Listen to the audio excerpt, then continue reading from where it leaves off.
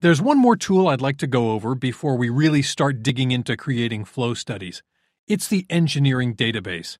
I can access the engineering database by going to the Flow Simulation dropdown under Tools and selecting the engineering database. Here in the database, you can see the library of data and information that Flow has available right out of the box. You can use the tree to navigate through the database.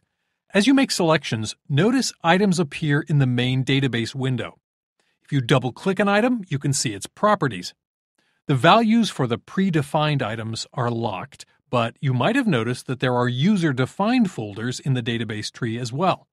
Let's add a user-defined porous medium that we'll use later in the course. I'll expand the porous media folder, right-click on the user-defined category, and select New Folder. I'll call this folder Carburetor Air Cleaner. I'll insert a subfolder under the Carburetor Air Cleaner folder called porous 0.95. Now, you don't need your file structure to go this deep, but I like to keep everything in the database very organized. I'll right click on the folder and select New Item. You can edit any of these property values simply by clicking in the value column and replacing or editing the information. I'll call this item Porous Medium. For the porosity, I'll enter a value of 0.5.